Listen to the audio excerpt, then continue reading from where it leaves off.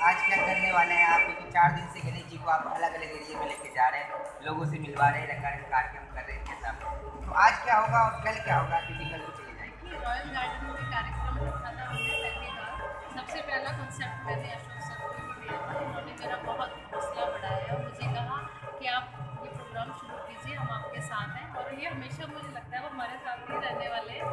तो इसके बाद में वहाँ से गणपति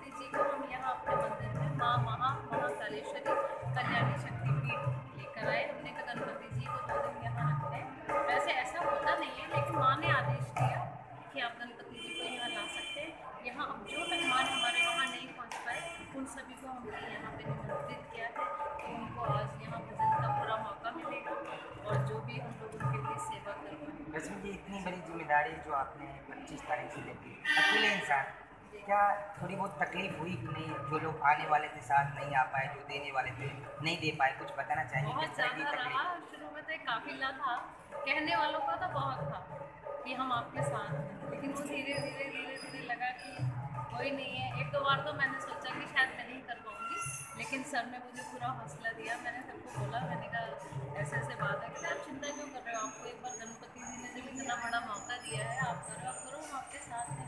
तो इन्होंने शुरू में हमारे शोभा यात्रा को भी ग्रीन सिग्नल इन्होंने ही दिया हरी झंडी दिखाई।